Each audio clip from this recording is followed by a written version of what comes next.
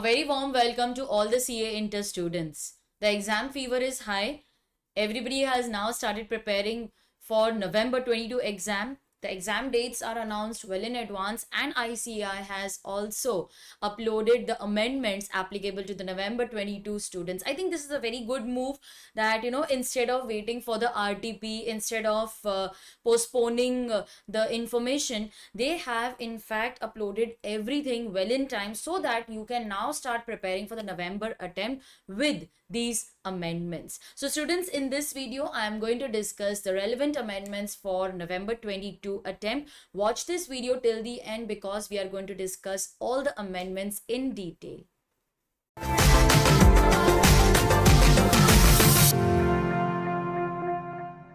Students, here you will find many amendments which were already applicable to the May 22 exam. So there is a lot of repetition this time uh, maybe you know they have uh, included these amendments so that in case you have missed the earlier attempt and you're giving both the groups in november 22 so you should have all the amendments applicable for november 22 at one place. Maybe that was the intention. But uh, here you will find like the first amendment itself. It it is an amendment uh, dated 22nd july 2021 so it was yes of course applicable to the may 22 exam uh, I'm not repeating the explanation again because I had done a detailed video on the amendments for May 22 attempt and I'm leaving a link over here. Just click the I button and you will be able to watch those amendments. So in this video, I'm only going to discuss the amendments for November 22 attempt. Alright. Now, the first amendment we have already uh, covered in May 22. I'm not repeating that. Let's go to the next amendment. Yes which is uh, from the unit registration of charges. Now, the amendments are made in the rules. I know that many students do not prefer remembering the name of the rules and it is difficult for us to find this in the module because module sometimes it, it's a combination of the section and the rules.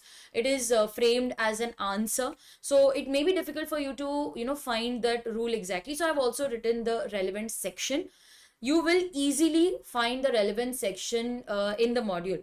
Now, they have also mentioned the page number on which this amendment uh, you, uh, you need to either include or make changes in the provisions already mentioned there.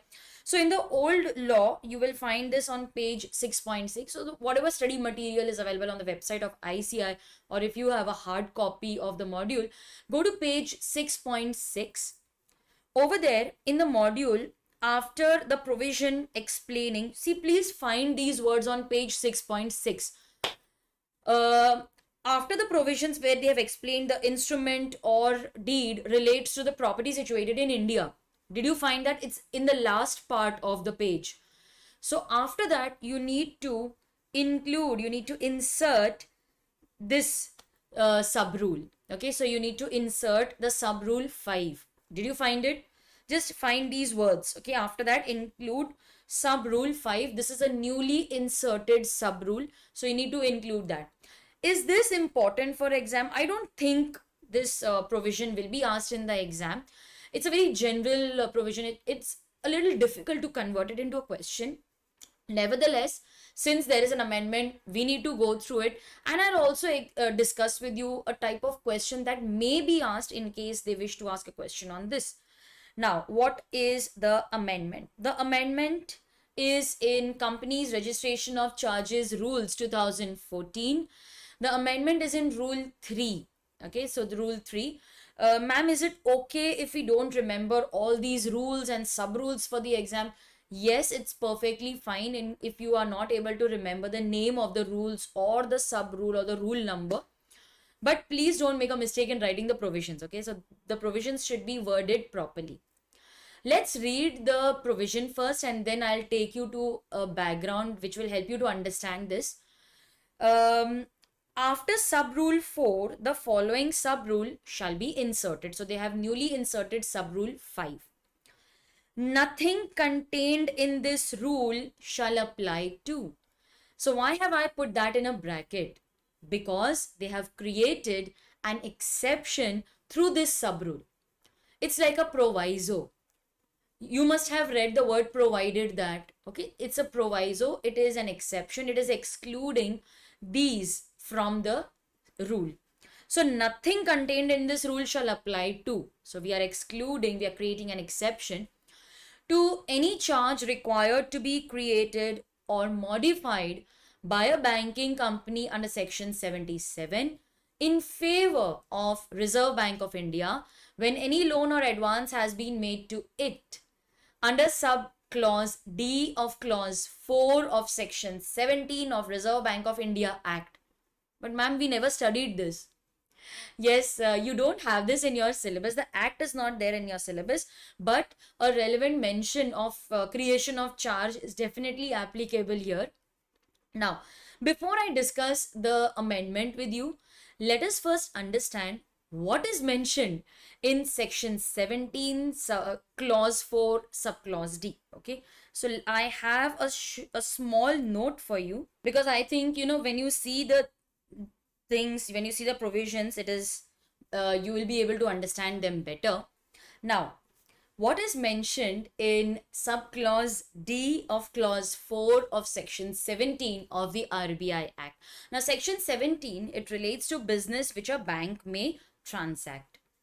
Clause 4 says making to local authorities, scheduled bank, cooperative bank, state financial corporation, loans and advances repayable on demand or on expiry of a fixed period not exceeding 90 days against the security of.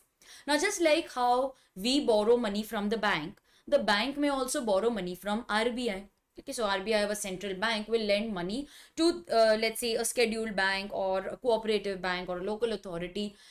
Now, whenever the, the general rule says that whenever you obtain loan, you have to give security. So just like how we give security to the bank, the bank may also give security to the RBI. What kind of security can be given to RBI? It can be in the form of promissory note of any scheduled bank, supported with documents of title to the goods assigned or pledged to such bank. Now, in case I have obtained loan from the bank and against that loan, I have given my goods as security, I have assigned the title of the goods to the bank. Now, for the bank, that represents a right. Okay, in case I'm not able to repay the loan, the bank can sell those goods and recover it. So it's a right. Now that right can be assigned further so against the security, uh, they may have given a promissory note or and it is supported by documents of title to the goods assigned or pledged to such bank as security for any commercial or trade transaction. So against the security of these documents, the scheduled bank, the cooperative banks, they have obtained loan from RBI. See, if you're giving a security, you will have to register the charge that you have created. And for registration or modification, uh, uh, when you have created a charge or you have modified a charge, the section applicable is 77. So because in these in this circumstance, a charge is created, law requires you to register the charge.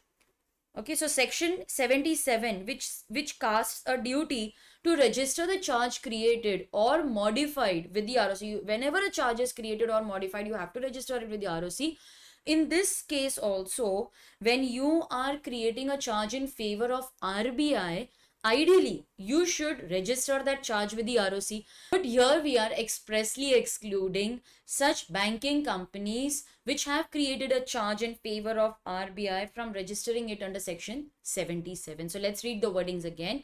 Rule 3 which relates to registration of charge or modification of charge.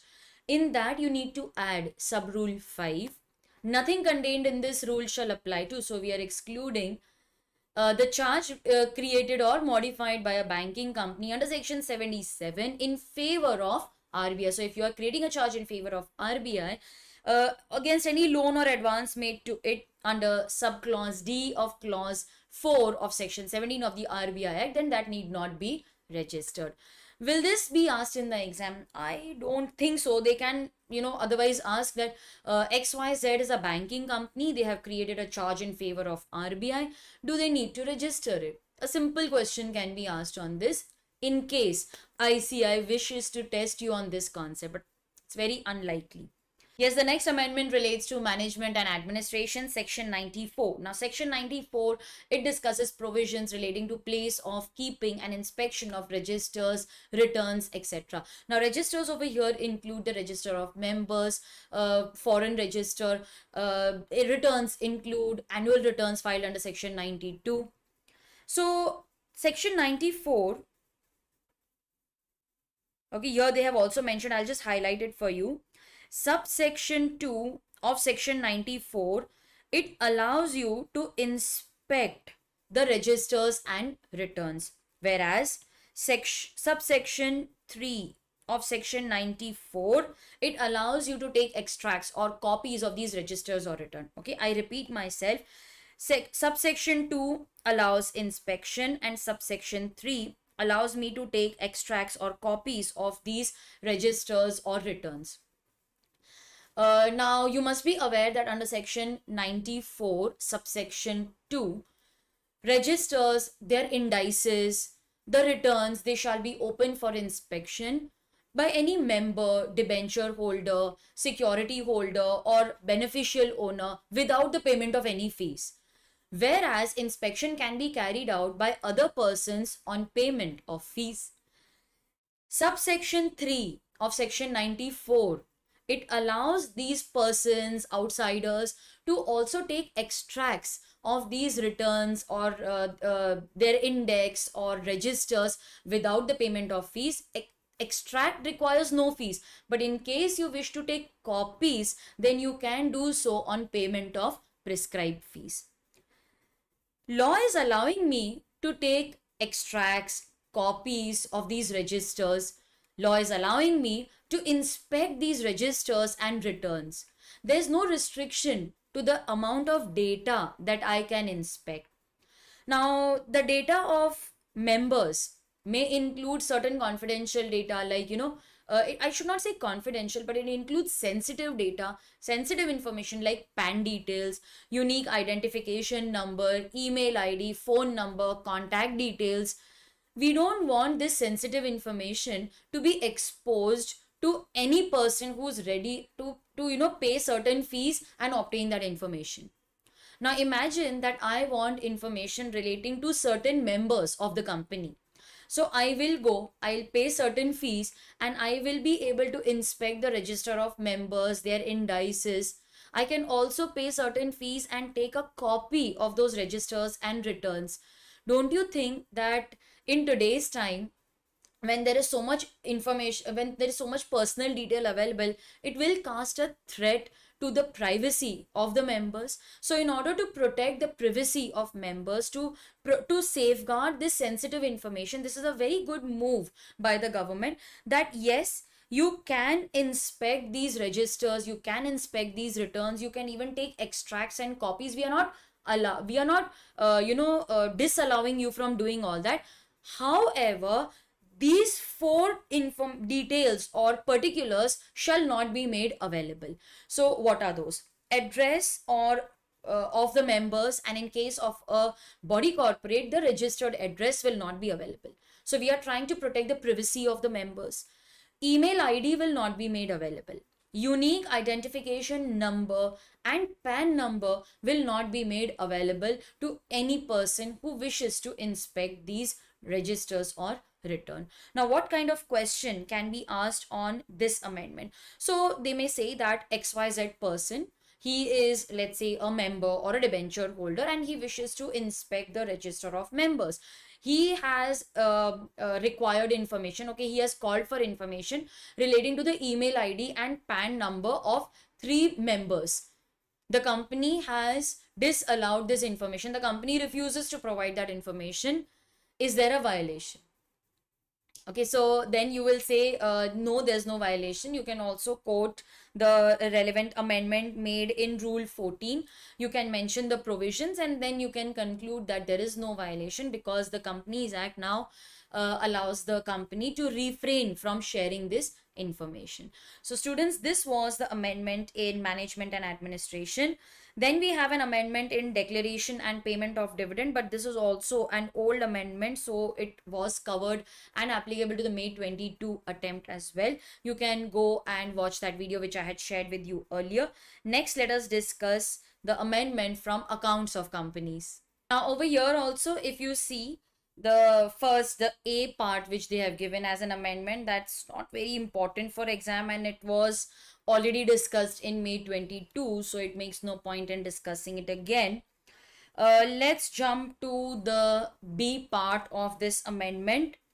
Now there are very small small amendments over here which may not be asked in a theory question but can be asked maybe as an mcq or a correct incorrect question now, this also relates to CSR.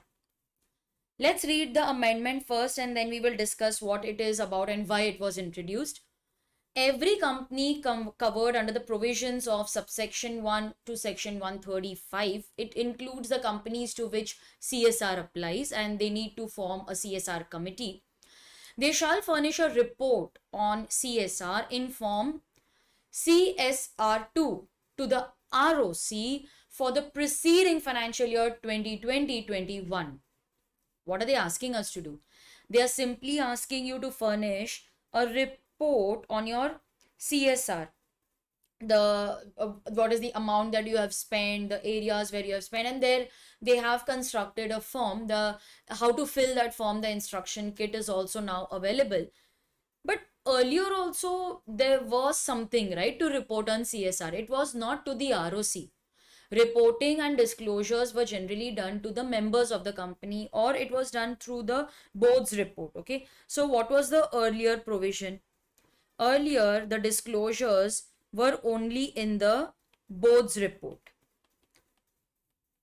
and disclosures were also made on the website etc but basically through the board's report we would communicate the spending on csr the areas the activities of csr uh, so there was nothing which was reported to the roc now as usual they want that if you are performing certain activities if you are incurring certain expenditure inform the roc also. So they have come up with the csr form and the number is csr2 so this can be asked as an mcq the requirement is for the financial year 2020-21 and onwards.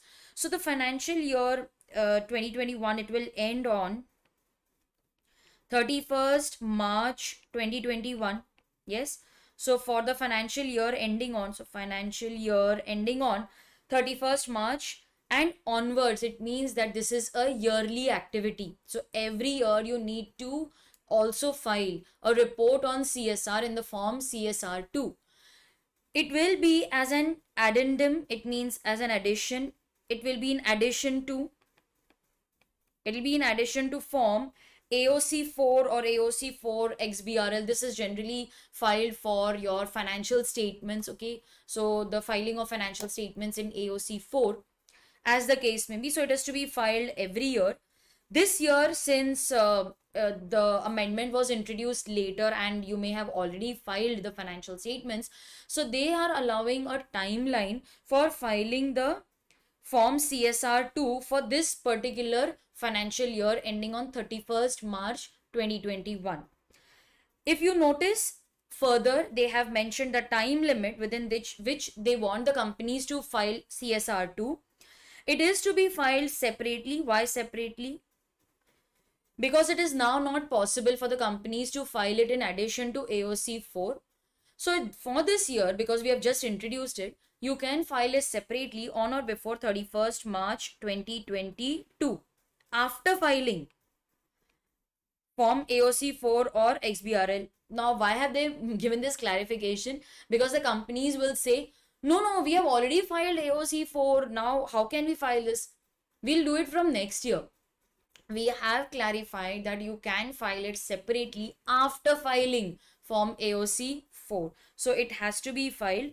Now, students, if you notice further, 31st March 2022 uh, is the date provided but yes we also realize that uh, there may be issues faced by the company there is not much clarity available uh, that companies need certain time and help for filing therefore they have extended this date and if you go further here you will find that they have extended this date to 31st May 2022. So what is the final date? Is it to be filed by 31st March 2022? Or is it to be filed by 31st May 22? The final date is 31st May 2022. So I repeat myself. Form CSR2 for the year ending on 31st March 2021 was to be filed by initially 31st March 22 but due to certain difficulties faced by companies they have extended the time to 31st May. If you see the notification on 31st May 22 the timeline has been extended further to 30th June 22 okay? So ma'am what should we consider finally? There are so many dates. I think even though it is not mentioned in the uh, amendment sheet, practically if you see the date is 30th June 22. But is this really important for exam? Are they going to ask us the dates? I don't think so. What they are going to ask us is the form number that is CSR2. Now it is up to you whether you want to memorize the dates or not. Don't worry. You just need to memorize that the timeline for filing a uh, uh, CSR2 is 30th June 22 okay but as per the ICAI sheet it is 31st May. So as usual they have created some confusion for us.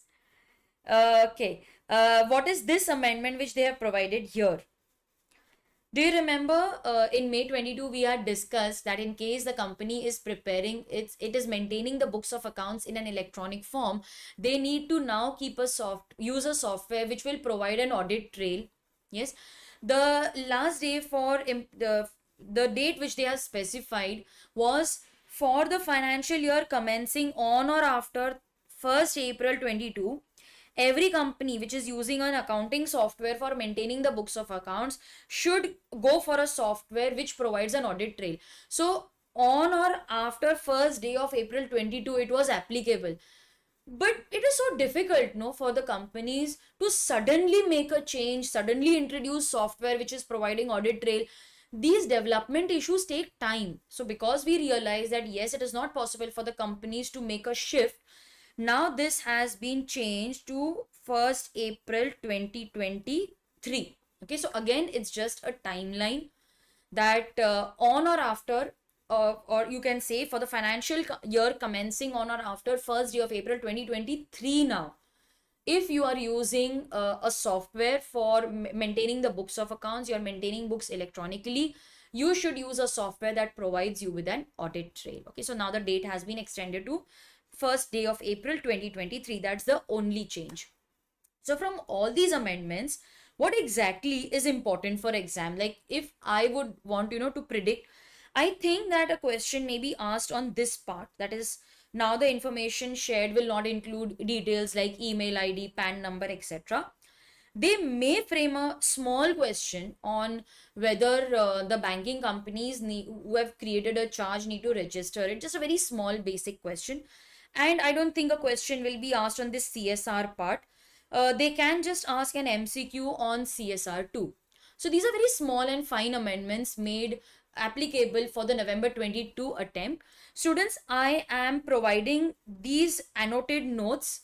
You can download them in the link which is given in the description box so that, you know, if later you are referring uh, to this, uh, for, to the amendments, uh, you need not go and find them in the module. Some ready-made material is available with you. So with that intention i'm leaving a link. You can go and download uh, the annotated file uh, following that link. Okay uh, so guys, these were the amendments for November 22. I am also coming up with videos discussing MCQs from all the RTPs and MTPs right from the year 2020 okay so you will find all the mcqs the case study based mcqs the normal mcq discussion in those videos. So do subscribe to your channel theory masters learning and hit the bell icon so that you get notifications for those videos which are coming up. And also visit my website theorymasterslearning.com for books and lectures